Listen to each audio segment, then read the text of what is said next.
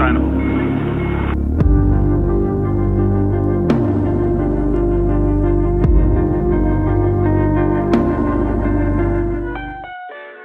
Ang programang ito ay rated SPG.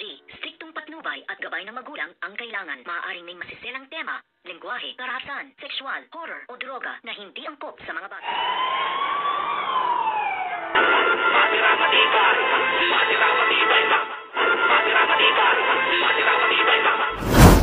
Talaga namang kabado itong bida natin sa pinakauna niyang misyon kasama si Bubbles. Napilitan lang siya na gawin yon dahil sa takot kay Spinas na baka may gawin itong masama sa kanya at sa mga kaibigan niya kapag tinanggihan niya ito. Tugo naman ni Bubbles na sa umpisa lang daw yon at masasanay lang din itong bida natin pag nagawa na nilang maayos itong misyon. Sa mga sandaling yon ay kasalukuyan namang nasa opisina itong si Congressman Sevilla at dahil sa nangyari nung isang gabi ay talaga namang nagdubli ingat na ito at nagdagdag pa ng mga pulis at security. Batid ni Bubbles na dihado sila kaya naman tinawagan niya si Spinas at sinabi lang nito sa kanya na gawa ng paraan. At dahil nga matinik rin itong si Congressman Sevilla pagdating sa babae, naging advantage para kay Bubbles ang ganda niya para makalapit sa target. At dito nga hindi na siya pinahirapan pa dahil yung target na mismo ang lumapit sa kanya. Pagkakataon na sana yun ni Bubbles para patayin yung target pero naagaw pa nito yung baril niya hanggang sa pumutok ito at nabulaga rin pati yung mga nagbabantay sa labas at doon na nag-umpisa ang barilan. To the rescue naman kaagad itong si Tanggol ayon sa plano at niratratan niya ang lahat ng mga nagbabantay ng mga bodyguards. Sa huli ay nabaril itong si Congressman Sevilla.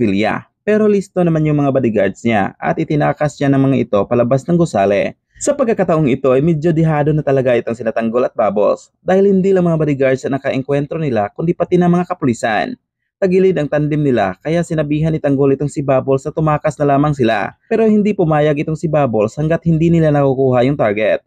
Mukhang delikado yata ang lagay ng dalawa, kaya sabay-sabay po nating tunghayan ang mga susunod na tagpo at kaganapan. Sana huwag kalimutang pindutin ang like at i-share ang video na ito. Mag-subscribe ka na rin kung bago ka pa lang sa channel na ito para updated ka pa sa mga susunod ko pang i-upload. Hanggang sa mga susunod na episode, maraming salamat po sa inyong panonood.